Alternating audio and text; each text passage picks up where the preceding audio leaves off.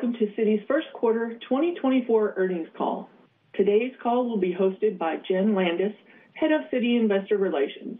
We ask that you please hold all questions until the completion of the formal remarks, at which time you will be given instructions for the question and answer session.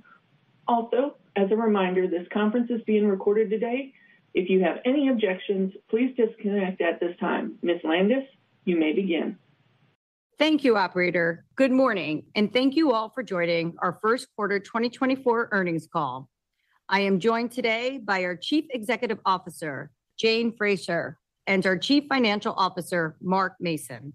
I'd like to remind you that today's presentation, which is available for download on our website, citigroup.com, may contain forward-looking statements which are based on management's current expectations and are subject to uncertainty and changes in circumstances.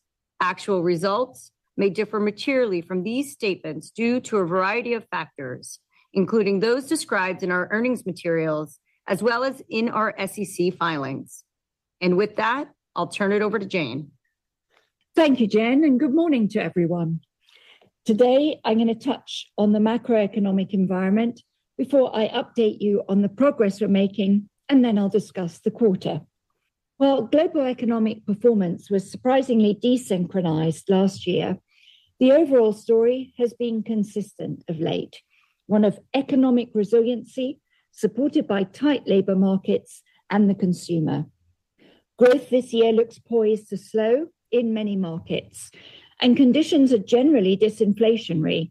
We're already seeing some central banks in the emerging markets starting to cut rates. In the U.S., a soft landing is viewed as increasingly likely, but we continue to see a tale of two Europes, with Germany hurt by the weak demand for goods, while Southern European countries, such as Spain and Greece, benefit from stronger demand in services.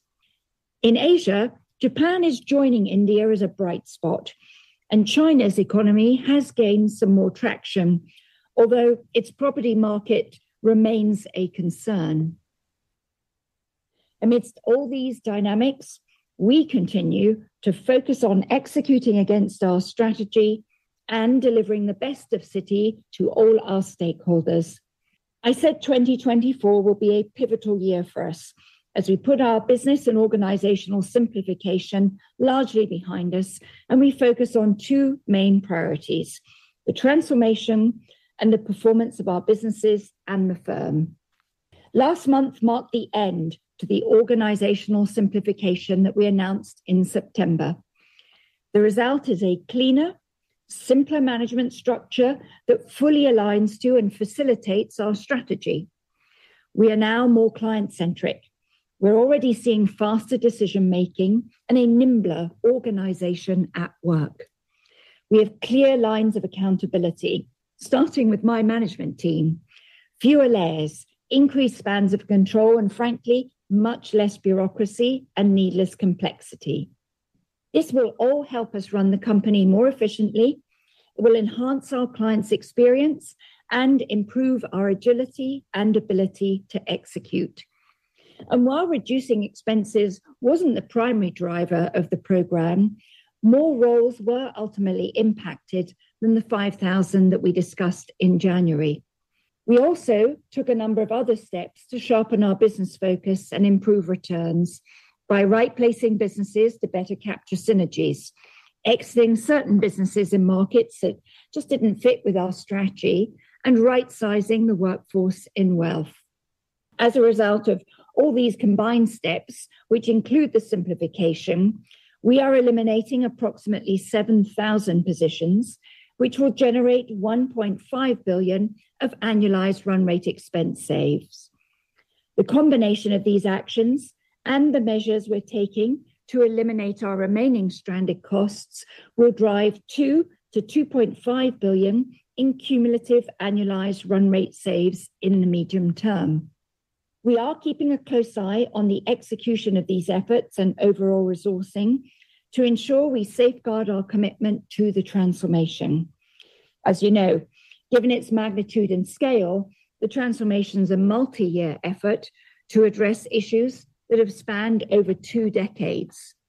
we've made steady progress as we retire multiple legacy platforms, streamline end-to-end processes, and strengthen our risk and control environment, all of which are necessary not only to meet the expectations of our regulators, but also to serve our clients more effectively. A transformation of this magnitude, well, it's never linear. So while we've made good progress in many areas, there are a few where we are intensifying our efforts, such as automating certain regulatory processes and the data related to regulatory reporting. We're committed to getting these right, and we'll look to self-fund the necessary investments to do so.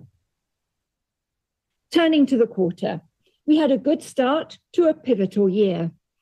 We reported net income of approximately $3.4 billion, earnings per share of $1.58, and an ROTCE of 7.6% on over $21 billion of revenues. Our revenues were up over 3% year-over-year, excluding divestitures, which was primarily the billion-dollar gain from the India consumer sale last year. Our expenses were slightly down quarter-over-quarter, excluding the FDIC special assessments. Services continues to perform well and generate very attractive returns. Revenue is up 8% for the quarter as both businesses won new mandates and deepened relationships with existing clients.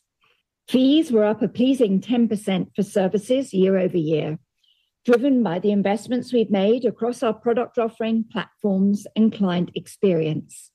In security services, we took share again this quarter, and in TTS, cross-border activity continued to outpace global GDP growth, and commercial card spend remained robust.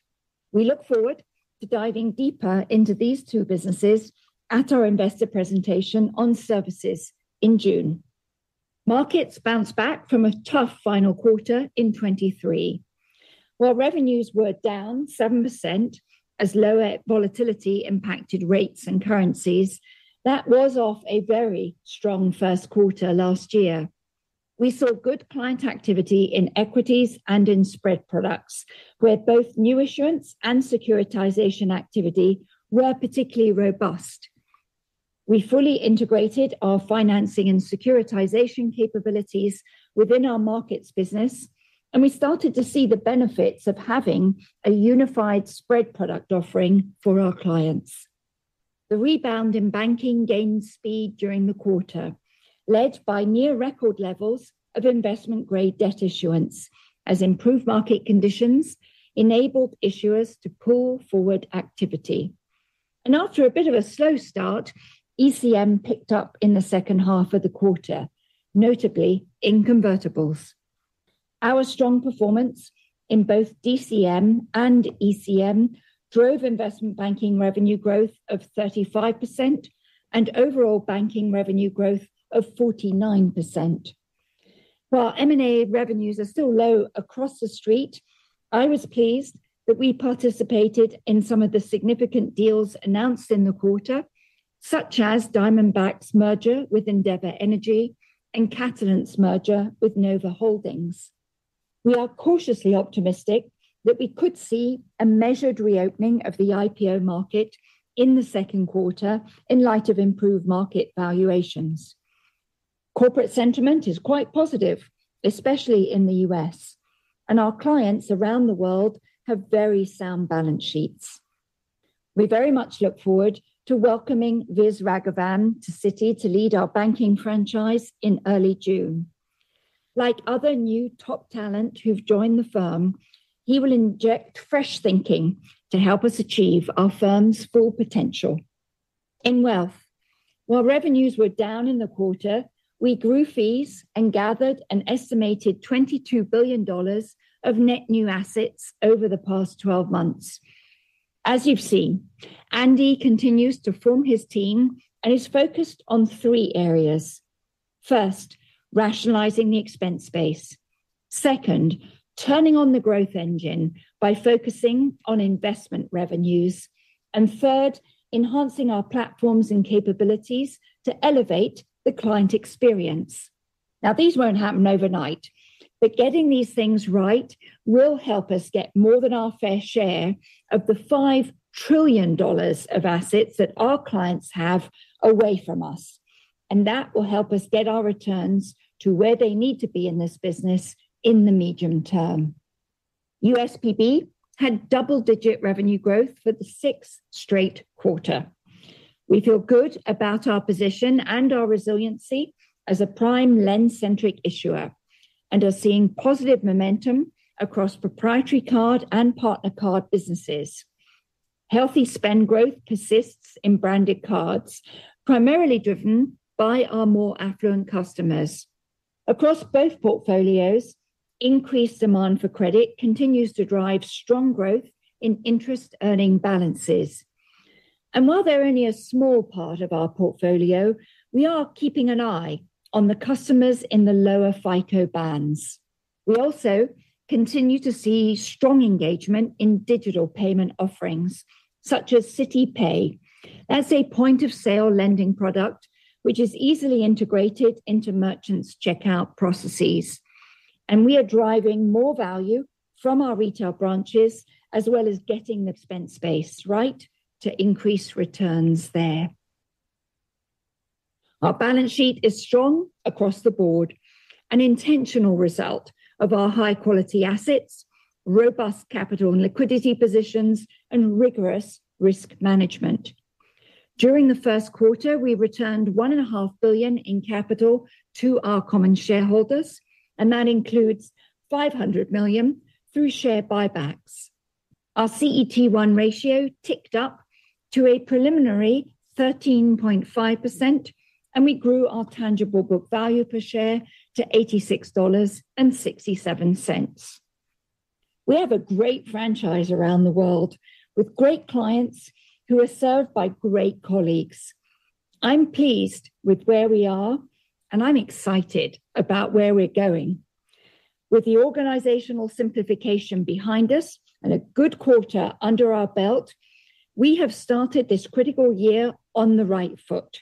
Now, while there will be bumps in the road, no doubt, we will continue to execute with discipline, and we are committed to reaching our medium-term targets. With that, I'd like to turn it over to Mark, and then we will both be delighted, as always, to take your questions. Thank you. Thanks, Jane, and good morning, everyone. I'm going to start with the firm-wide financial results, focusing on our year-over-year comparisons for the first quarter, unless I indicate otherwise, and then spend a little more time on the businesses.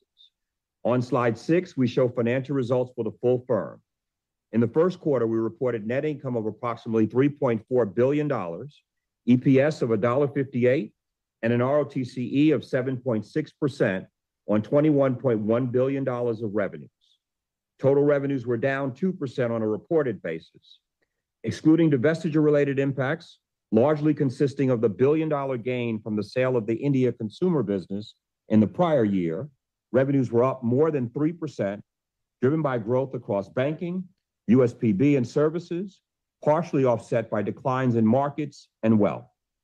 Expenses were $14.2 billion, up 7% on a reported basis. Excluding divestiture-related impacts and the incremental FDIC special assessment, expenses were up 5%. Cost of credit was approximately $2.4 billion, primarily driven by higher card net credit losses, which were partially offset by ACL releases in wealth, banking, and legacy franchises. At the end of the quarter, we had nearly $22 billion in total reserves, with a reserve-to-funded loan ratio of approximately 2.8%. On slide seven, we show the expense trend over the past five quarters. We reported expenses of $14.2 billion, which included the incremental FDIC special assessment of roughly $250 million. Also included in this number are $225 million of restructuring charges, largely related to the organizational simplification. In total, we've incurred approximately $1 billion of restructuring costs over the last two quarters. As part of these actions, we expect approximately $1.5 billion of annualized run rate saves over the medium term related to a headcount reduction of approximately 7,000. In addition to the restructuring, we took approximately $260 million of repositioning costs, largely related to our efficiency efforts across the firm, including the reduction of stranded costs associated with the consumer divestitures. The expected savings from these actions will allow us to continue to fund additional investments in the transformation this year. And relative to the prior year, the remainder of the expense growth was largely driven by inflation and volume-related expenses, partially offset by productivity savings. In the remainder of the year, we expect a more normalized level of repositioning, which is already embedded in our guidance. Therefore, you can expect our quarterly expense trend to go down from here in line with our $53.5 billion-$53.8 billion ex-FDIC expense guidance. On slide eight, we show net interest income, deposits, and loans, where I'll speak to sequential variances. In the first quarter, net interest income decreased by $317 million, largely driven by markets, which resulted in a four basis point decrease in net interest margin. Excluding markets, net interest income was relatively flat. Average loans were up $4 billion, primarily driven by loans and spread products in markets, as well as card and mortgage loans in U.S. personal banking, partially offset by declines in services. And average deposits were up nearly $7 billion, primarily driven by services as we continue to grow high-quality operating deposits. On slide nine, we show key consumer and corporate credit metrics. This quarter, we adjusted our FICO distribution to be more aligned with the industry reporting practices and now show our FICO mix using a 660 threshold. Across branded cards and retail services, approximately 85% of our card loans are to consumers with FICO scores of 660 or higher. And we remain well reserved with a reserve-to-funded loan ratio of 8.2% for our total card portfolio. In our corporate portfolio, the majority of our exposure is investment grade, which is reflected in our low level of non-accrual loans at 0.5% of total corporate loans. As a reminder, our loan loss reserves incorporate a scenario-weighted average unemployment rate of approximately 5%, which includes a downside scenario unemployment rate of close to 7%. As such, we feel very comfortable with the nearly $22 billion of reserves we have in the current environment. Turning to slide 10, I'd like to take a moment to highlight the strength of our balance sheet, capital, and liquidity. We maintain a very strong $2.4 trillion high-quality balance sheet, which increased 1% sequentially. Despite this increase, we were able to decrease our risk-weighted assets, reflecting our continued optimization efforts and focus on capital efficiency. Our balance sheet is a reflection of our risk appetite, strategy, and diversified business model. The foundation of our funding is a $1.3 trillion deposit base, which is well diversified across regions, industries, customers, and account types. The majority of our deposits, $812 billion, are corporate and span 90 countries. Most of our corporate deposits reside in operating accounts that are crucial to how our clients fund their daily operations around the world. In most cases, we are fully integrated in our clients' systems and help them efficiently manage their operations through our three integrated services: payments and collections, liquidity management, and working capital solutions, all of which greatly increase the stickiness of these deposits. The majority of our remaining deposits, about $423 billion, are well diversified across the private bank, Citigold, retail, and wealth at work, as well as across regions and products. Now turning to the asset side, over the last several years, we've maintained a strong risk appetite framework and have been very deliberate about how we deploy our deposits and other liabilities into high-quality assets. This starts with our $675 billion loan portfolio, which is well diversified across consumer and corporate loans. And the duration of the total portfolio is approximately 1.2 years.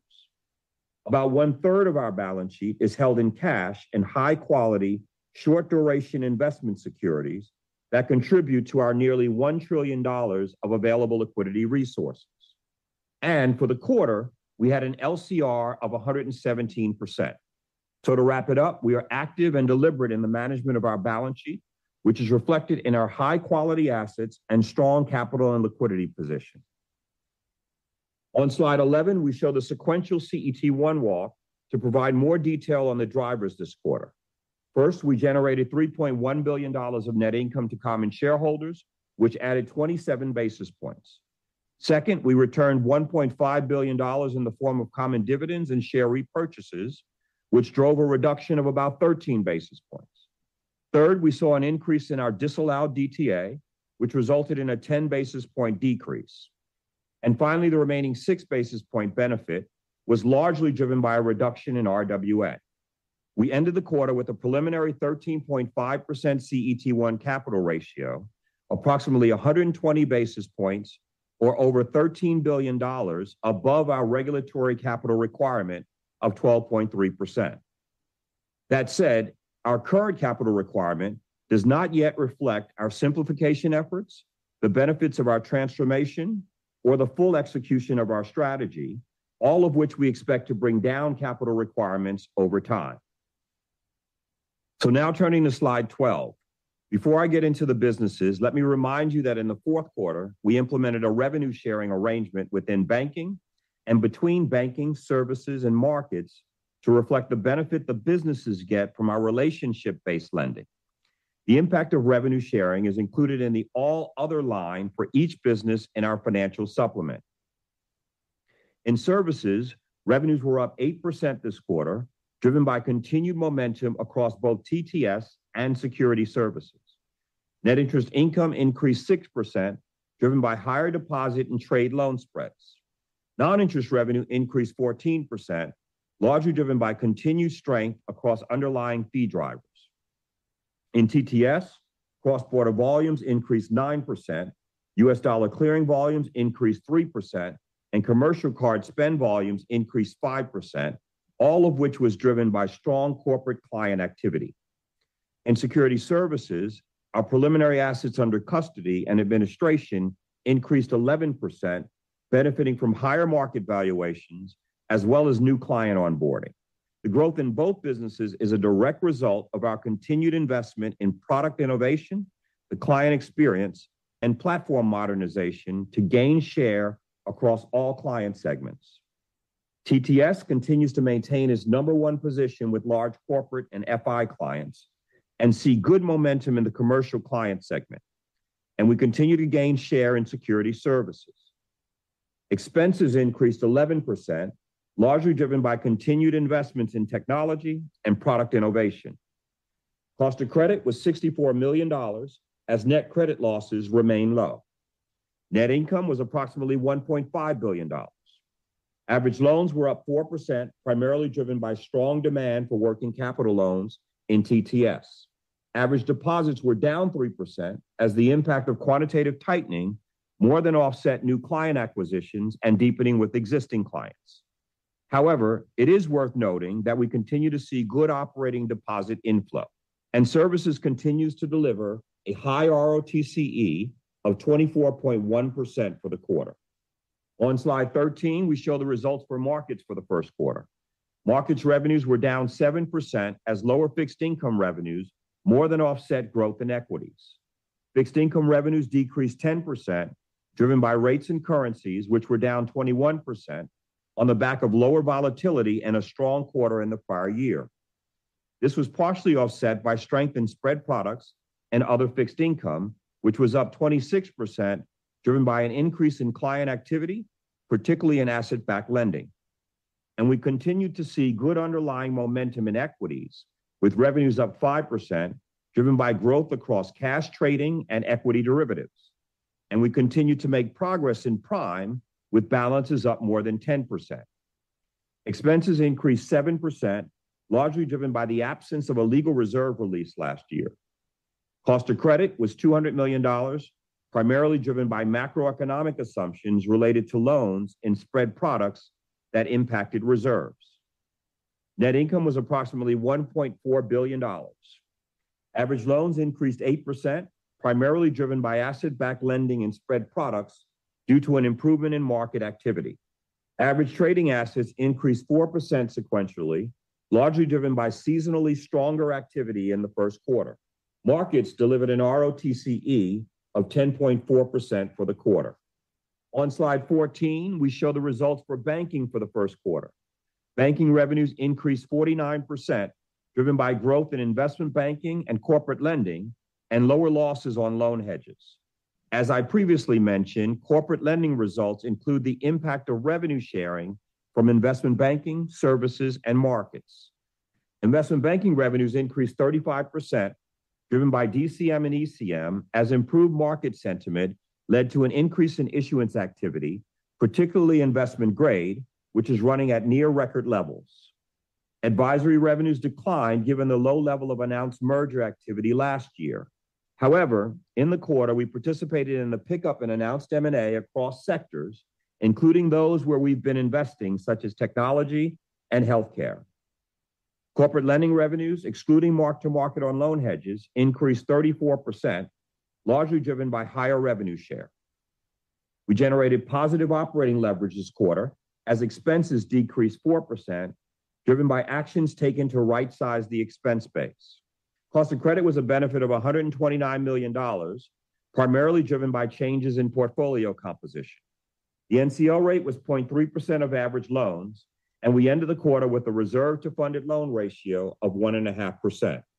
Net income was approximately $536 million. Average loans decreased 6% as we maintained strict discipline around capital efficiency as we optimized corporate loan balances. ROTCE was 9.9% for the quarter, reflecting a rebound in activity, reserve releases, and continued expense discipline. On slide 15, we show the results for wealth for the first quarter. Wealth revenues decreased 4%, driven by a 13% decrease in NII from lower deposit spreads and higher mortgage funding costs, partially offset by higher investment fee revenues. We're seeing good momentum in non-interest revenue, which was up 11%, as we benefited from higher investment assets across regions, driven by increased client activity as well as market valuations. Expenses were up 3%, driven by technology investments focused on risk and controls, as well as platform enhancements, partially offset by the initial benefits of expense reductions as we continue to right-size the workforce. Cost of credit was a benefit of $170 million, driven by a reserve release of approximately $200 million, primarily related to a change in estimate as we enhanced our data related to margin lending collateral. Net income was $150 million. End-of-period client balances increased 6%, driven by higher client investment assets. Average loans were flat as we continued to optimize capital usage. Average deposits decreased 1%, largely reflecting lower deposits in the private bank and wealth at work, and the continued shift of deposits to higher-yielding investments on Citi's platform, which more than offset the transfer of relationships and the associated deposits from USPB. Client investment assets were up 12%, driven by net new investment asset flows and the benefit of higher market valuations. ROTCE was 4.6% for the quarter. Looking ahead, we're going to improve the returns of our wealth business by executing on our three foundational priorities. As Jane mentioned, this will take time, but over the medium to longer term, we view this as a greater than 20% return business. On slide 16, we show the results for U.S. personal banking for the first quarter. U.S. personal banking revenues increased 10%, driven by NII growth of 8% and lower partner payments. Branded cards revenues increased 7%, driven by interest-earning balance growth of 10% as payment rates continue to moderate. And we continue to see healthy growth in spend volumes of 4%, primarily driven by our more affluent customers. Retail services revenues increased 18%, primarily driven by lower partner payments due to higher net credit losses, as well as interest-earning balance growth of 9%. Retail banking revenues increased 1%, driven by higher deposit spreads, loan growth, and improved mortgage margins. Expenses were roughly flat due to lower compensation costs, including repositioning, offset by higher volume-related expenses.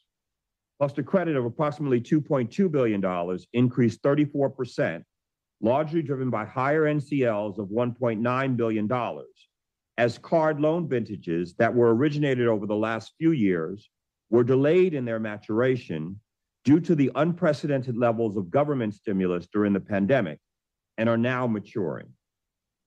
In branded cards, the NCL rate came in at 3.65%, in line with our expectations. In retail services, the NCL rate of 6.32% was slightly above the high end of our guidance range for the full year and will likely remain above the range in the second quarter, reflecting historical seasonality patterns.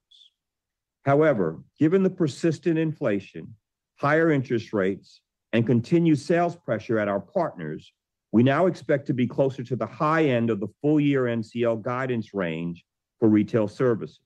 This expectation, along with the continued mix shift from transactors to revolvers across both portfolios, led to an ACL build of approximately $340 million.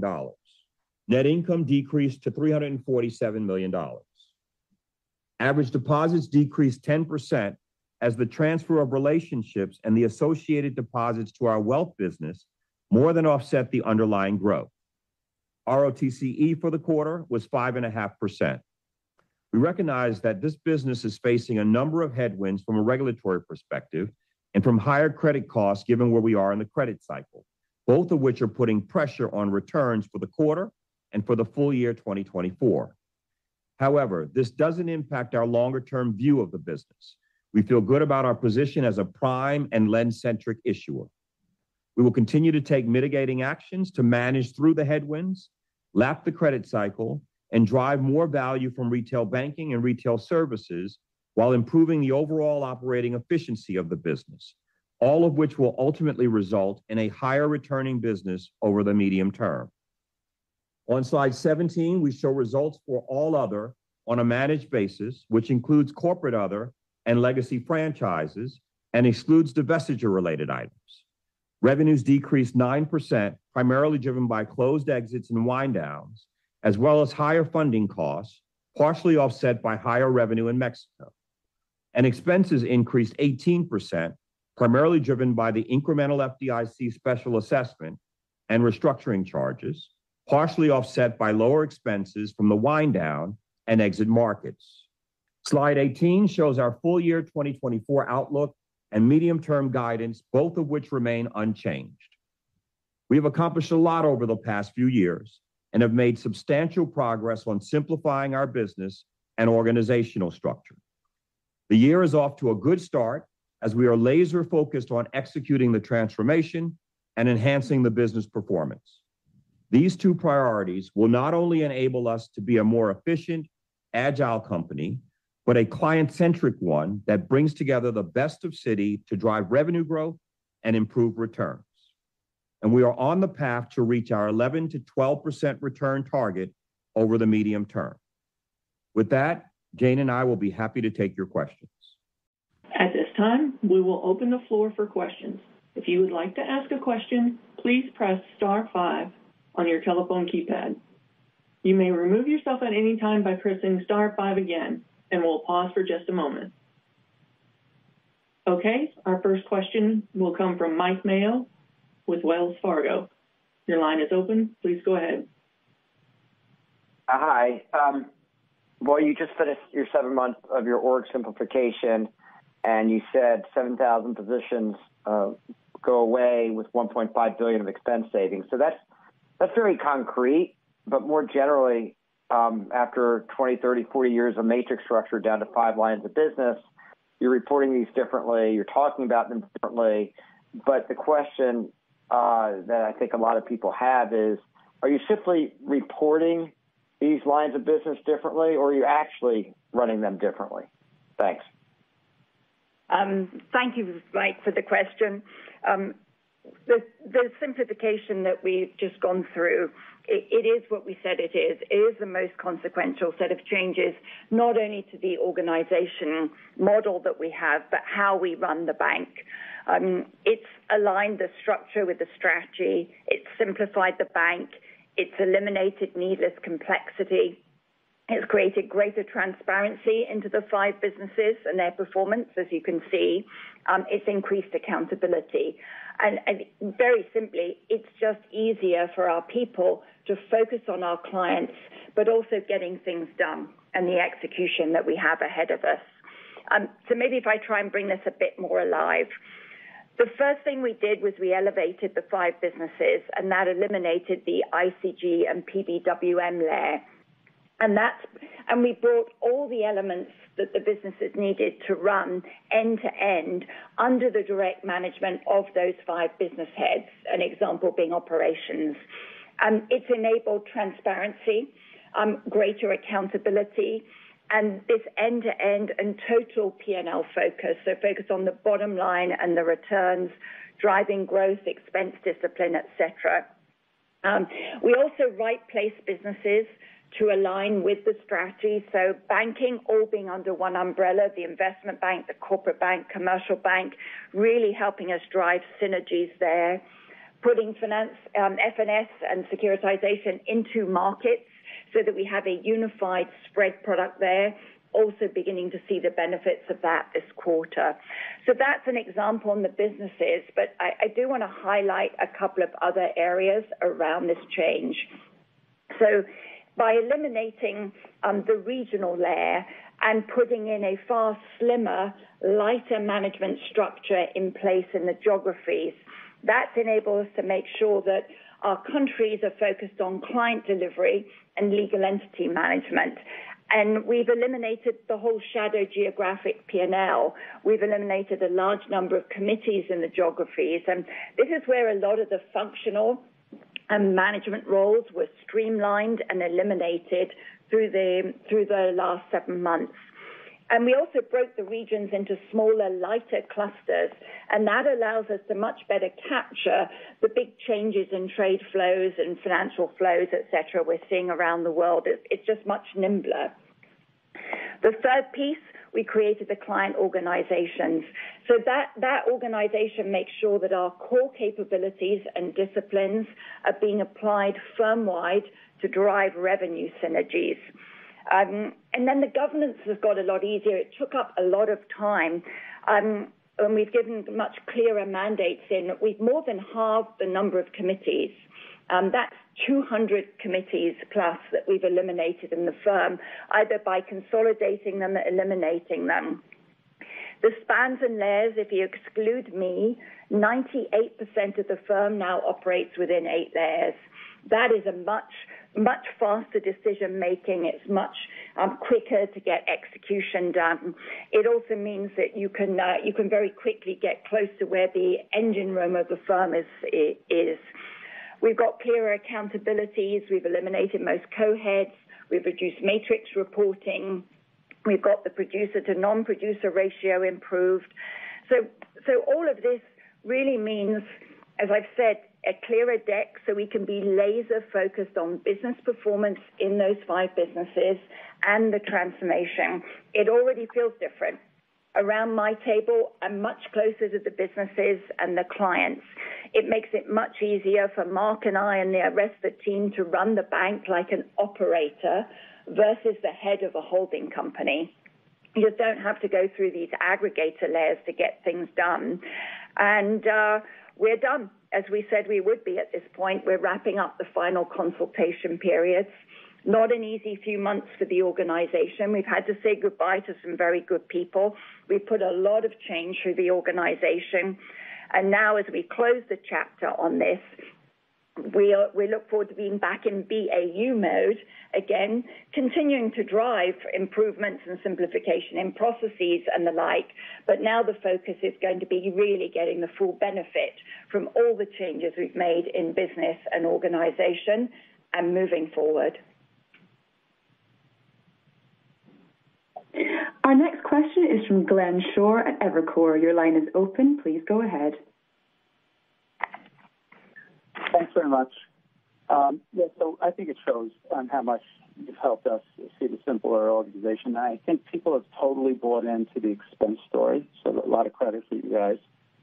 I think where I personally and others still um, have questions on is on the revenue side and getting to those 4%-5% medium-term targets. So could could you take us just conceptually where we're going to, where you think you'll drive that growth from from this baseline where we're at now? And if you want, you can totally use my second question in there and tell us what good things you're doing inside the investment banking line um, to, to help be that one of the answers. you snuck that one in, Glenn. Um, so um, I'll, I'll, I'll kick off uh, um, with some of this, pass it to Mark, and then I'll come back to banking. So, look, we are laser focused on, on the growth and improving the returns of these businesses to where they should and will be in the medium term. And it's not just a growth story, but let me anchor it in those medium-term return targets. In services, we want to continue around the mid-20s um, in ROTCE. Banking should be getting to around 15%. Markets 10%-13%, so we'd like to see at the higher end of that range.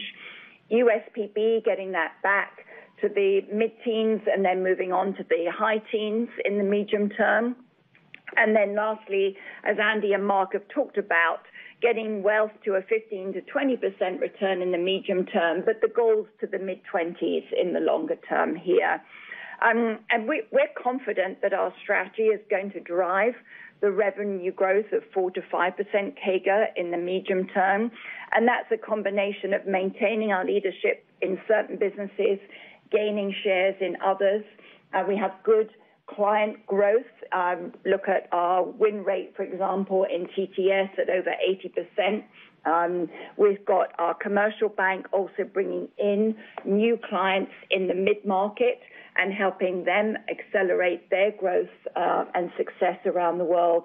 But Mark, let me pass it over to you. Sure. And good morning, Glenn. And we appreciate the acknowledgement around the uh, around the expenses. As you know, we've been quite focused on that and working hard to ensure that we deliver on what we say we're going to do there. You know, I'd, point on the revenue line. I'd first point to if you look back since Investor Day, we've in fact been able to deliver on the guidance that we've given for the medium term. So that 4%-5% top-line growth. And yes, it was a different rate environment, but that growth that we delivered over the past couple of years has been a mix of both revenue and underlying business strength. As you think about the guidance we talked about for this year, we talked about the NII ex markets being down modestly. And so what that means is that the momentum and the growth that we expect is going to come from the non-interest revenue. And I think this quarter is a good example of where and how that's likely to play through. So the revenue top line being up 3%+. But when you look through each of the businesses, and if you look on each of the pages where we disclose the revenue, you can see the underlying NIR growth in the bottom left-hand corner of each of those pages that's coming through as well. So security services up 14% with growth in both TTS between cross-border clearing, commercial cards, but also um, uh, and security services, right? With the growth that we're seeing from continued momentum and assets under custody. We expect that trend to continue with existing clients and more and new clients, as well as how we do more with our commercial market middle commercial middle market business, excuse me. So NIR growth there. The investment banking piece is the other driver of fees. We're seeing that wallet start to rebound. We're part of that rebound. The announced transactions, we're part of those in sectors that we've been investing in. We're bringing in new talent to help us realize and experience that. And even in wealth, where we're not pleased with the top-line performance this quarter of down 4%, when you look through that, we do have good underlying NII growth in the quarter in wealth, and that's up 11% year-over-year. And it's in the area that Andy and the team is leaning in on, which is investments, and not just in one region, but across all the regions. And then finally, the USPB piece, which is showing good NII growth as well. So the long and short of it is that the 4% growth that's implied in $80 billion-$81 billion is going to be continued momentum, largely in fees, helping us to deliver for our clients and make continued progress towards that medium-term target. So let me pick up the site. I'm sure Jen Landis will give you the evil eye for snicking in a second question there, Glenn. But um, let me uh, let me pick up on banking um, and you know what's going on there. So we have a very clear strategy that we've been executing over the last couple of years, really to lay the foundation for growth in banking. Um, North America is our key priority. It's the biggest contributor to the global IB wallet. Tech, healthcare, and industrials are likely to constitute over 50% of the fee wallet going forward. So we have better aligned our resources to position the franchise for this, defending areas of traditional strength in industrials and the like, energy, whilst investing in high growth sectors such as healthcare and technology um, with, some, with some strong talent. Financial sponsors are sitting on $3 trillion of estimated firepower, which they are incentivized to deploy. So they're likely to be between 20 to 30% of global investment banking fees. We've great relationships with this community. We've built that over years and decades. Um, you're going to see us more active in the LevFin space in the right situations for our key clients. And we'll continue to ensure we're well positioned and active around um, this important opportunity.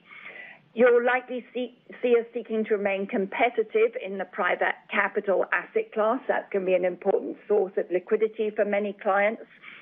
And the middle market will be fertile hunting ground for corporates and private equity. And our investment bank and commercial bank are going to be closely coordinated to harvest the deal flow around the world.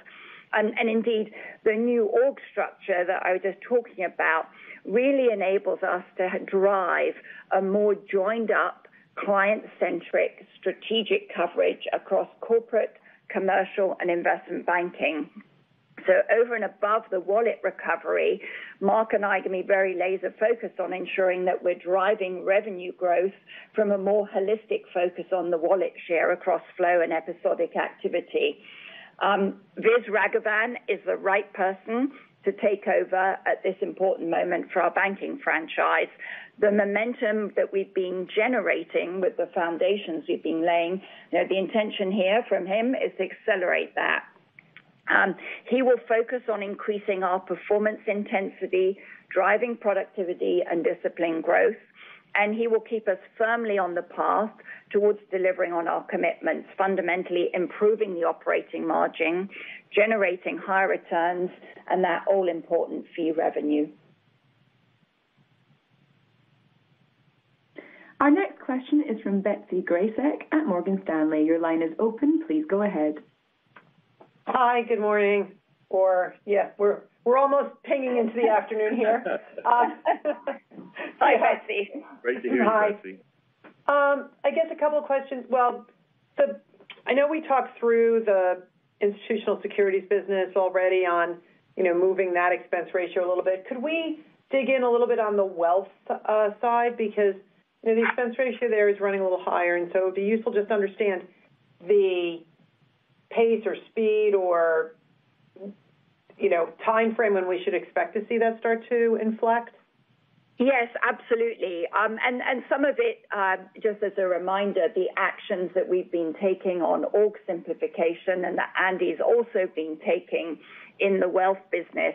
Um, you know, we will work through notice periods in the coming weeks, and so you'll start, you'll see the impact coming through in our headcount numbers and in wealth in the expense space next next quarter.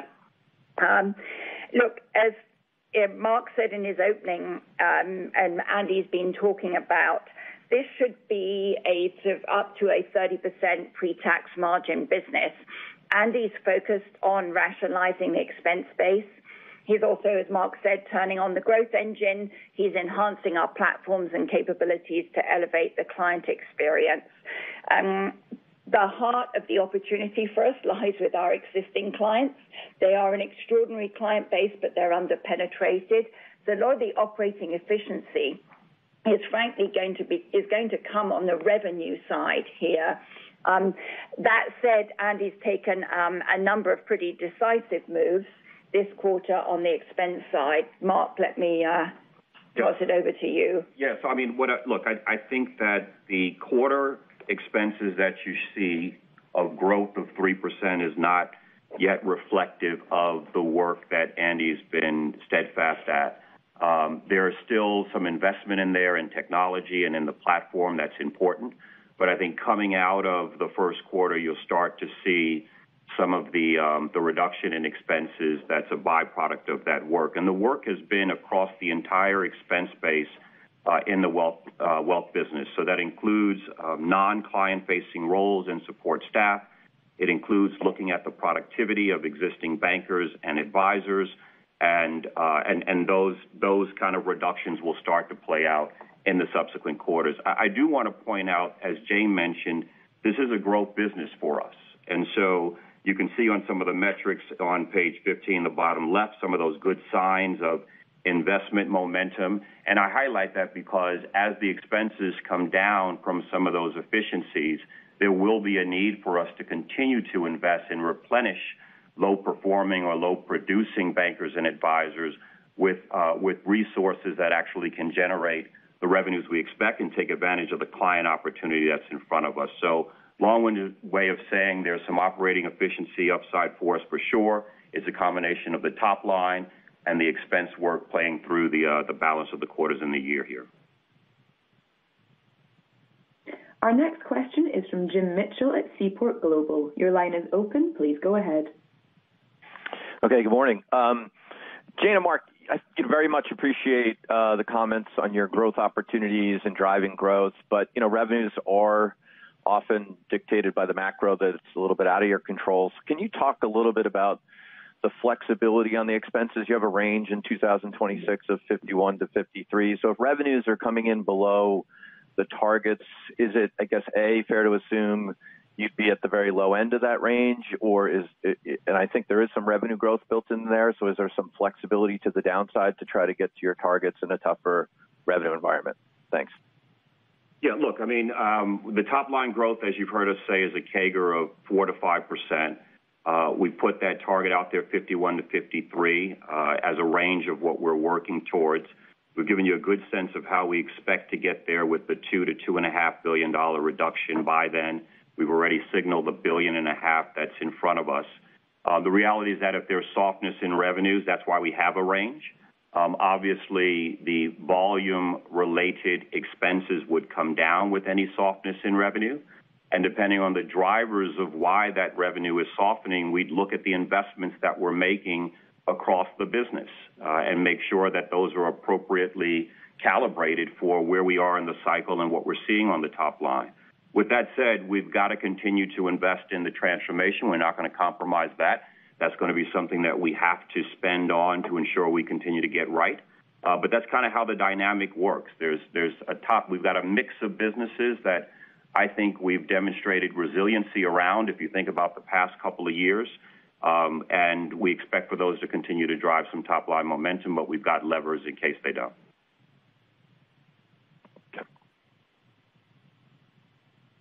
Our next question is from Ebrahim Poonawala at Bank of America. Your line is open. Please go ahead. Thank you. I guess just one question, Mark, around capital. So you talked about $13 billion over the reg minimum. By my like you could easily be doing 2x the buyback you did in one quarter, if not more. Just I know you don't like to talk about out quarters, but give us a sense of at least this quarter, should we expect the pace of buybacks to increase? And if you could provide additional color as we think about the rest of the year, would be greatly appreciated. Thank you. Sure. Look, you know, and I've said it repeatedly, Jane has said it repeatedly, given where we trade, Um, we think buying back is smart, and we'd like to do as much as we uh, possibly can and as much as makes sense in light of the uncertainty that's out there. We have run at about 13.5 this quarter. That does give us capacity above the 13.3, but it's important to keep in mind that there's client demand that will continue to evolve. We want to make sure we can support the clients that uh, that want to do business with us, whether that be in markets or other parts of the franchise. And then there's still uncertainty out there about how the capital regulation evolves. Uh, The good news is we are hearing kind of favorable things about how the Basel III Endgame proposal could evolve, but that hasn't happened yet. It's not finalized. It's not in place yet. And so we want to see how that continues to play out. We're obviously in the midst of a CCAR process. We want to see how that evolves. And we'll continue to take the buyback decision on a quarter-by-quarter basis. But we recognize that there's an opportunity there, and we'll get after it just as soon as it makes good sense for us. Our next question is from Erika Najarian at UBS. Please unmute your line and ask your question. Hi, good afternoon. Um, hey, Erika. Hey.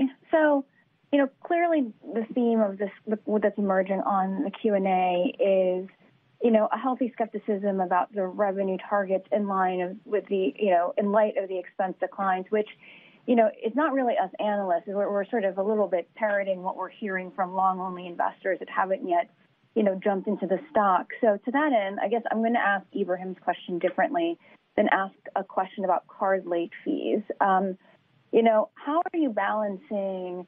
Clearly, you know, your valuation would would demand that the buybacks be ramped up from 500 million, but growing revenues at a four to five percent CAGR, you know, would would mean potentially some, you know, capital um, plowed back into the into the business. I guess how are you balancing um, that, especially given that you know the demand for buyback is louder at Citi than any other money center peer? And could you give us a sense of what card late fees are, and you know how that would impact the 80 to 81 billion for the year if we do get a, an earlier implementation in October? Know, you know, thank you, On, on the first part of the question, I'd, just remind you and, everyone else that we're, we're playing for the long term here, right? So um, we have set some medium-term targets. Obviously, Jane has recasted the vision and the strategy. I think we're making very good progress against that, but we're playing for the long term. And what that means is that we have to continue to invest in the franchise. It's why I've given you a range around the expenses, at least in part. It's why I've continued to, to stress the importance of protecting the transformation and risk and control spend. And it's why I started the answer to uh, Ebrahim's question by saying that we want to be sure that we can match the client demand out there where the returns to do so makes sense. And so we are having to balance kind of the use of capital and other resources against that longer term strategic objective uh, and utilize it where it makes sense and generates good returns against the idea of returning that to, to shareholders. And so this is we'll continue to do that. It's an it's an everyday assessment. It's an everyday discussion with the teams. Frankly, it's why things like the revenue sharing has been put in place to intensify the discussion around the clients that we're using balance sheet with and ensuring that we're driving broader revenues across the platform. And so that's that's kind of how we're operating in terms of making that trade-off on a regular basis, uh, in addition to obviously the broader regulatory environment that we're that we're in. Uh, in terms of the um, the second part of your question around late fees, we haven't disclosed kind of the dollar amount of the late fees. What I would say is that we we did and have factored that into the 80 to 81 billion Um, the only thing I'd add to that is it did kind of it's being implemented a bit earlier than what we had assumed, but again, it's inside of the range of the guidance that I've given you for top line uh, top line revenue for the year. I'd also just, you know, as a reminder, 85% of our two-car portfolios are prime. Um, and in CRS, where you you know you tend to see some of the lower income households, we do have that uh, the, the economics of the fee change will be shared with our partners in CRS. So um, you know, we want our customers to pay on time. We have a number of mechanisms to do so, but in, in terms of the economics, I think we, along with the rest of the industry, will be putting in mitigating actions over time, some of which we've already begun to implement. Good, Ed. Thank you. Our next question is from John McDonald at Autonomous Research. Your line is open. Please go ahead. Thanks. Um, Mark, I was hoping you'd give a little more color on how you're feeling about the credit card charge-offs. You maintain the outlook for the year. You mentioned uh, the higher end on retail services. Do you still feel like you'll see a peak this year? And what kind of metrics are you looking at in terms of delinquency formation and seasoning uh, to inform that view that you might see the peak in card charge-offs this year? Yeah, thanks, John. You know, it's um, we have obviously continued to uh, manage this portfolio very actively. We've seen continued top-line growth. We've seen continued average interest earning balance growth. We've talked about how we expect for the cost of credit to to normalize, and we've seen that continue to happen. Um, the range that we've given on branded cards, we're inside of that range. When you when you look at the spend across the portfolios, the spend is really happening with the affluent customers more so than anything else. And so we're watching the lower income customer profile or customers that we have. But again, as Jane mentioned, we tend to skew to the higher end to begin with. Where we're really seeing, um, you know, the pressure is where I mentioned in terms of retail services. And so there, the current NCLs are higher than the high end of the full year range that I've given. But if you look back, that is not inconsistent with seasonality that we've seen in the past in that portfolio, where the first two quarters are higher than the back half of the year, in part because of coming out of the holiday season and how the um, and how losses tend to mature or materialize through that process. And so I'd expect to not only see them be higher than the average range in Q1, but also in Q2 before coming down. And then I still expect that in 2025, you tend to see them further normalize and come down a bit you know, off of these ranges. But look, the reality is that we continue to watch it, and the factors that are out there that are important include how unemployment evolves, um, what happens with inflation, uh, what happens with interest rates, and those will be important factors as to to how the loss rates continue to uh continue to evolve over time. I think the final point I'd make, and I mentioned it in the in the prepared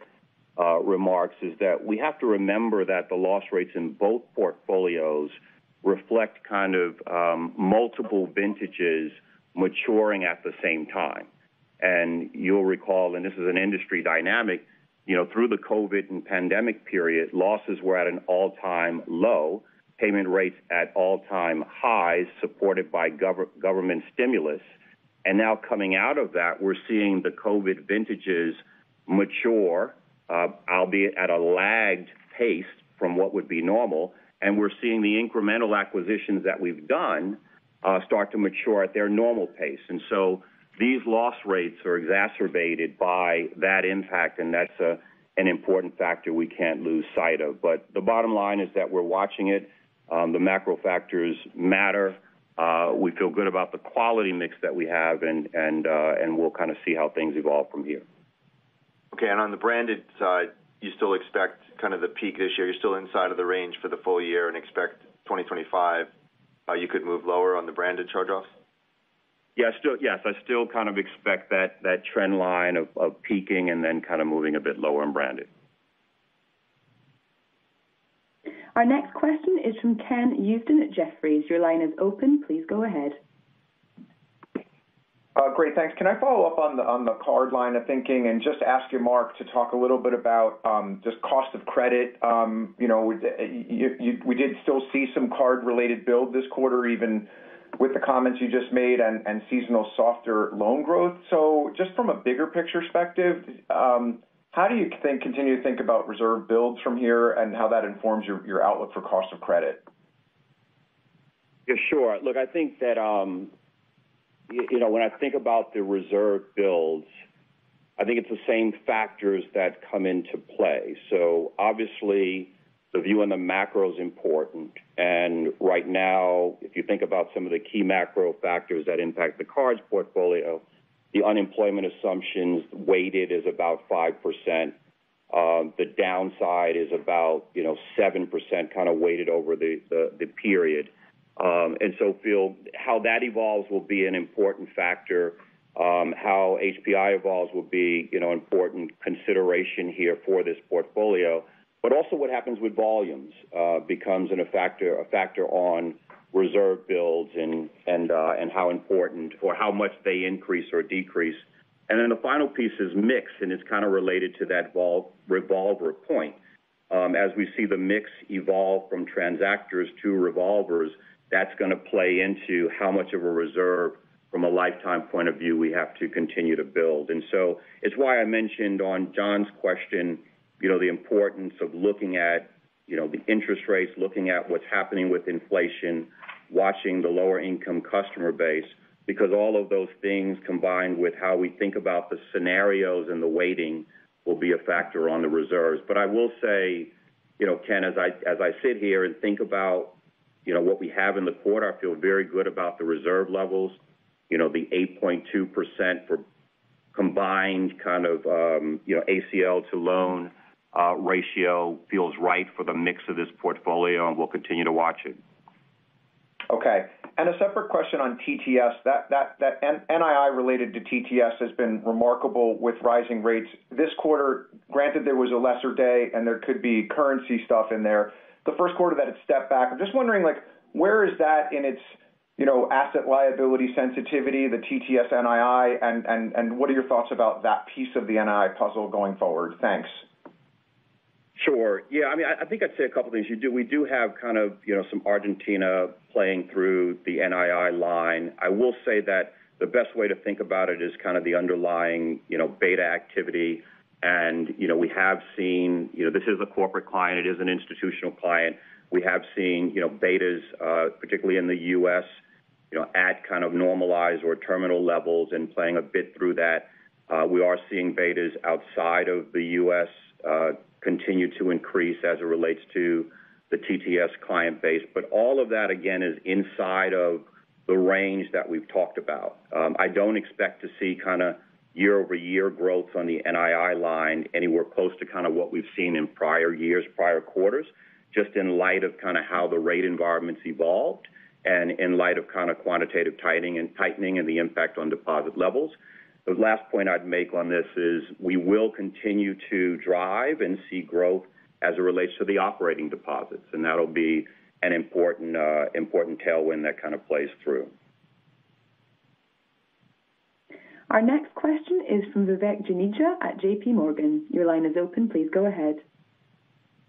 Hi, thank you. Um, Jane, Mark, just a question maybe on um, Argentina. You had, uh, you've shown 100 million in NII, uh, total net income benefit of 500 million after tax, so probably implying about $500 million-$600 million of non-interest income benefit. Which line item, Uh, sorry, which segment did that come through, and is that sustainable? Yeah, look, there's a there's a mix, obviously, of um, of things that are driving that that net income, including a tax impact on the heels of last year, Argentina um, uh, devaluation activity that's in that line. But the short answer is that, you know, if you think about the nature of the business that we do in Argentina, um, it is, you know, a big part of our institutional client relationships. Um, and the primary activities include some of the TTS type of activities that um, that we've talked about, so liquidity management, payments, Um, custody within the services business. And so you'd see a good portion of the activity in Argentina playing through the services business, some of it in markets as well, but but again, the majority of the activity in services. Great. As a reminder, can I please remind everyone, just one question um, per person. Thanks so much. Our next question is from Scott Siefers at Piper Sandler. Your line is open. Please go ahead. Hey, everyone. Thanks for taking the question. Um, Mark, I think you touched on at least a component of this a couple questions ago, but maybe just broadly an update on your rate positioning. I guess I only ask because it, you know, looks like we might be starting to diverge in terms of global rate trajectories, you know, if we potentially go lower in Europe, but higher here for a while. You know, in the aggregate, do these kind of complicate your management or make you feel better or worse about the overall uh, NII momentum for the for the company? Yeah, let me, let me try and take it in, um, in two pieces, I guess. So, so one is, if I think about how the rate implies have evolved from the three to six to now something a little bit north of 1, in the context of what I expect for our performance, um, it doesn't have a material impact on the guidance that I've given of $80 billion-$81 billion. And in part, that's because as I think about the timing for the planned cuts, which was generally backloaded, as well as some of the other um, factors that play through. So, you know, Argentina just announced a policy rate reduction yesterday or a couple of days ago. Um, if rates are a bit higher for longer, we'll watch how the betas continue to evolve. Um, I mentioned earlier, the late fees for the cards business happened a bit sooner. Or late fees are actually booked in our in our NII line. And so those factors, you know, put me in a place where I feel like there'll certainly be puts and takes around um, how that rate curves evolves, and therefore, I'm very comfortable kind of leaving the guidance where it is. To, to answer your broader question in terms of kind of how we're positioned, you know, I'd point you to the 10K that we have that's out, and in that 10K, we offer, as we have before, a number of IRE scenarios for plus or minus 100, 100 basis points and, and what it means for our, business. And if you look at it, you'll see that for the aggregate firm, for Citi, U.S. dollar and non-U.S. dollar, uh, that we're asset sensitive. So as rates increase, we should see an increase in our NII performance. But if you look at the breakdown, and that's about, I think it was about a billion four or something in terms of the the impact uh, of that move. But if you look at the breakdown, um, what the what the breakdown will show is that for U.S. dollar, at this point we're neutral. So if rates were to go up, rates were to go down, no material impact as it relates to to our revenue. For the non-U.S. dollar, we're still quite asset sensitive, right? And so that should give you some sense for at that, and we recognize the limitations with IRE. It assumes, you know, a 100 basis point parallel shift across the curve, the static balance sheet, et cetera. But that should give you some sense for the implications of uh, the rate curves move, rate curve moves as it relates to our, our book of business. Our next question is from Gerard Cassidy at RBC Capital Markets. Your line is open. Please go ahead. Hi, Mark. Hi, Jane. Hello, Gerard. Hey, Gerard. Mark, can you share with us? There's been obviously a lot of conversation around the credit card charge-offs and the credit quality there. If we could shift over to the corporate side, which obviously is very strong. We've seen spreads narrow in the markets on, um, you know, high yield corporate debt, leveraged debt, et cetera. It's it's very robust out there, but around the global geopolitical risk, do you think the spreads will be widening can you guys share with us what you're seeing on the corporate side in terms of competition? Are underwriting standards getting a little weaker now as people are trying to grow their books? What are you seeing on that front? Yeah, look, we're still seeing, um, you know, good demand for, you know, corporate credit. And uh, what I'd say is that, you know, we've been very disciplined about where we want to play on the risk profile here. We've been very disciplined in terms of the investment grade, you know, large multinationals that we that we serve, and that hasn't that hasn't shifted from an underwriting point of view. We have seen spaces like private credit pick up quite a bit, and that I think will continue to evolve. I think importantly, as we think about our corporate lending activity, um, you, you'll you'll note that actually we've been very disciplined about how we want to deploy balance sheet. And part of that, again, is a byproduct of the revenue sharing that we've implemented, where there's been healthy debate and discussion around the names that we want to continue to serve and whether they're positioned to take advantage of the broader platform that we have. And so um, I, I think the space will continue to evolve. I think there's been good, healthy demand despite you know continued strong balance sheets, and part of that demand has been because of where rates are likely you know likely to go and continue to evolve. And I think we're well positioned to be thoughtful about that. But Jane, you may want to add a couple points to it. Yeah, it, it, look, around the world, the corporate client base um, and our commercial banking mid-market client base have very healthy balance sheets. Um, and we're also seeing market access gradually opening up as well, which is which is also helpful for um, for the quality issuers across all asset classes. We've seen both the issuers taking advantage um, as well as the investors. The deals are well oversubscribed. So that's also been beneficial as corporates think about their financing needs.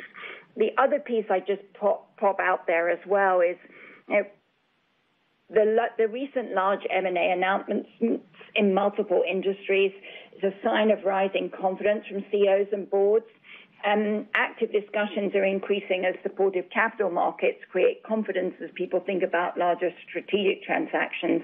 This is going to feed um, acquisition finance, bridge financing, and some of the higher margin capital market and uh, and lending activity as well. So as we look forward, I think it's recognizing the shift in some of the drivers um, from companies just investing, um, refinancing, looking at where they can, diversifying their their capital raising in uh, in different quarters. But I just close by saying I couldn't agree with you more about geopolitical risks and fragility. I think the market's too um, but it's too benign in its in its uh, risk uh, risk pricing on some of these factors. Important for us to stay Our next question is from Matt O'Connor at Deutsche Bank. Your line is open. Please go ahead. Hi. Uh, in your prepared remarks, you talked about intensifying uh, certain efforts regarding uh, regulatory processes and um, data uh on slide four here. And was just wondering if you could elaborate on, you know, I guess, what you're doing or planning to do differently um, uh on that front and if there's any meaningful financial impact. Thank you. Yeah. Look, um, I think, Matt, as we've talked about many times, the transformations our top priority. It will be for the next few years. It is foundational for our future success, both in terms of delivering the strategy and the medium-term financial path. Um, and we've been making significant investments behind it, as well as um, not only on the consent order, but also making sure we've got this modern, efficient infrastructure. We're currently deep into a very large body of work, upgrading our data architecture, automating manual controls and processes, consolidating fragmented tech platforms. And you know, all of these help enhance our business performance more broadly, not just the risk and control um in the medium term. As I've said, though, there are a few areas where we are intensifying our efforts, um, such as the automation of certain regulatory processes and data remediation, particularly related to regulatory reporting. We're committed to getting these right.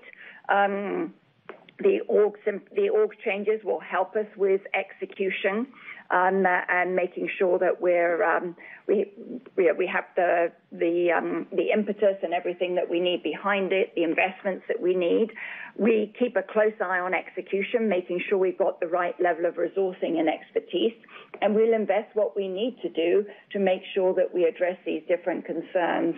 I can't go into much more detail in terms of our CSI, obviously. But um, something of this magnitude, you'd expect us to have some areas where we have good progress and others where we need to intensify efforts. Yeah. And I mean, I think that um, I think that's exactly right. But you'd also expect that in this type of environment and on the heels of the regional bank stress last year, that we're looking at stress scenarios. We're enhancing our CCAR processes. We're enhancing our resolution and recovery processes. All of those things just to kind of make sure that we're shoring up capabilities. And you'd expect that across the industry, quite frankly. Our next question is from Saul Martinez at HSBC. Your line is open. Please go ahead. Hi. Good afternoon. Um, I'll change tack a little bit here, but I'm curious if there's any update on the Mexican IPO. And more specifically, I'm kind of curious how set in stone the IPO process is. You will have a new administration, and even if it's the candidate from the same party, she may have a less confrontational view of the private sector, perhaps be more allowing of a local bank to extract value um, from buying a bank. and You know, I guess if the facts on the ground were to change, would you be open to uh, a sale potentially being back on the table? Because it does seem like this is a situation where a private market valuation could be you know, higher and even materially higher than a public market valuation.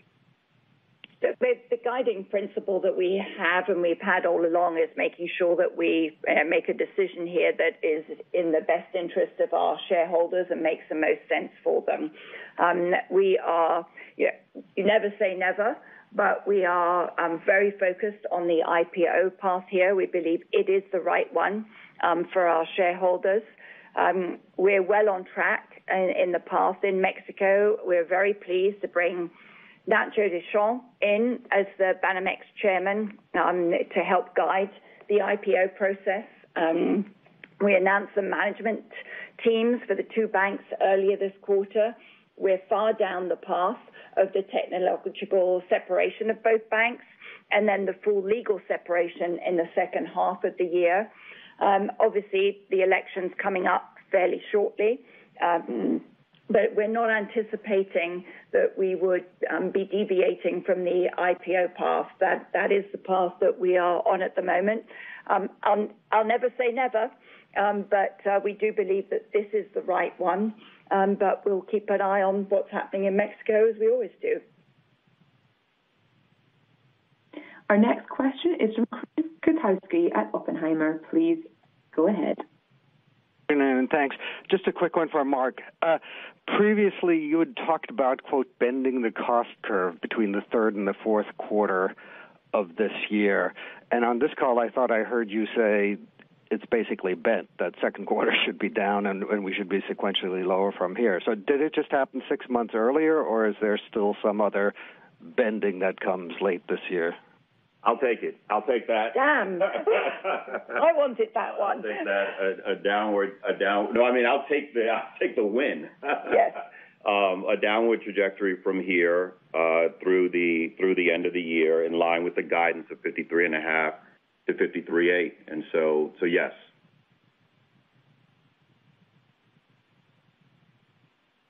Our next question is from Steven Chubak at Wolfe Research. Your line is open. Please go ahead. Hey, good afternoon. So, Mark. Hello, uh, Steven. Hey, Jane. Hey, Mark. Um, did want to ask on uh, DFAST and SCB, just recognizing this will be the last opportunity before the results come out. Um, the macro scenario, Fed assumptions look quite similar to last year.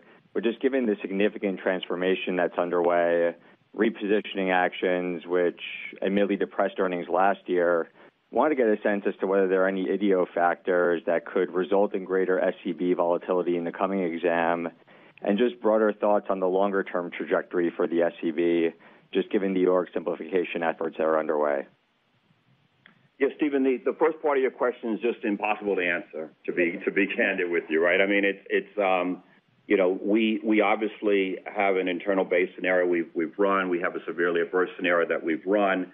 Uh, We've provided you know a balance sheet as part of the submission, but ultimately, you know, the regulators have to run through their models the information that we've provided, and that informs what happens with the stress capital buffer. And we don't have as much transparency to that as we'd like, and so really hard to call at this stage. The second part of your question, I think, is I think is spot on, and I kind of alluded to in my in my prepared prepared remarks in that um, we have the medium-term targets that we've set, and we're still in the midst of kind of the execution of our strategy, the evolution of the business mix and the business model, um, the mix towards more consistent, predictable, and repeatable revenue streams that would impact PPNR, uh, the simplification, which obviously plays through an expense base that'll be lower when we get to uh, that medium-term period. So all of those things, the divestitures and kind of what that means and how that might impact the G-SIB score and the like, and the freeing up of capital, of which we've already freed up you know, $6 billion or so. And so all of those things have kind of yet to have been factored in, uh, and we believe will be beneficial to the SCB over the medium term. Our next question is from Mike Mayo at Wells Fargo. Your line is open. Please go ahead. Uh, hi, a follow-up, uh, Mark. Uh, you said TTS, we said we will have growth in operational deposits. And um, I was just wondering what gives you such confidence that you will, or is that accelerating or the same pace or what? We have seen growth in the quarter in operating deposits. The confidence comes from the focus that we've had with our with our existing clients, as well as the growth we've seen with new clients, doing more with existing in more countries, um, more deeply penetrating the commercial middle market space. Uh, and so we've been very thoughtfully focused on deposits that obviously give us the most value and also provide the most stickiness as it relates to that relationship. And so, yes, the confidence is rooted in what we're seeing in the way of underlying operating deposit growth, including inside this quarter. It's also the a lot of the investments that we've been making fuel um, a, lot of the growth we've got. We've, we have a market-leading product innovations, and those um, continue to drive good returns, um, good growth. If it's uh, Citi Token Services, Citi Payment Express, 24/7 Clear, you know, all of these different elements really mean that this business is utterly invaluable and indispensable to our clients. And the, the stickiness of the deposits and the operating deposits comes comes with that. So we feel good about that growth.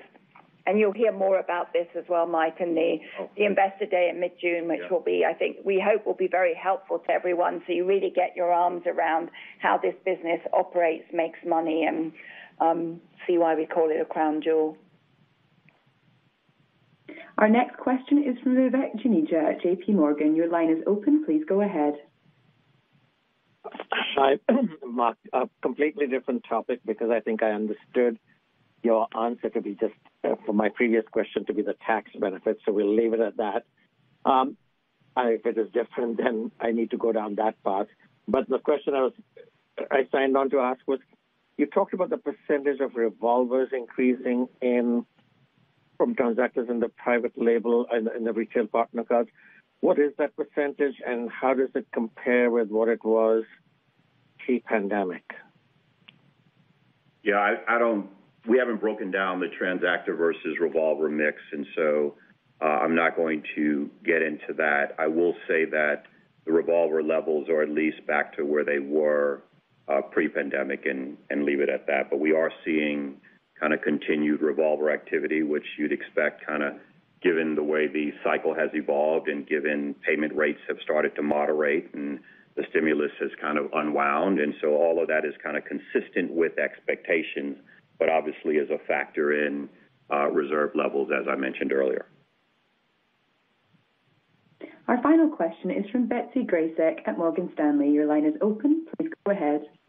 Oh, hi. Thanks so much. I just wanted to make sure of uh, one thing on the expenses. I know in the past you've talked about the fact that, you know, 1Q will be a little elevated with the restructuring, um, and you showed that was the 225 million in the quarter. And then when we look to 2Q, we should should we still be expecting a step down in 2Q? And is that step down just the elimination of the 225? Um, or is there some, you know, restructuring that we're likely to see in 2Q as well? In other words, should I just fade, you know, sequentially two, three, four Q to hit your annual number, or is there a bigger step down in 2Q that I should still be expecting here? Thanks. Sure. I, think you should just fade it um, to answer your question very directly. But I'd also point out that you know in Q1, if you if you really look through to it, it has the 250 million dollars of FDIC charge in it, and so when you back that out, we effectively are coming in lower than what we had guided. All right? Um, despite that, I'm telling you the same. I'm making the same point, which is you can expect a downward trend from here through to the end of the year. And while there won't be additional restructuring charge, there will be the normal BAU activity around repositioning that plays through.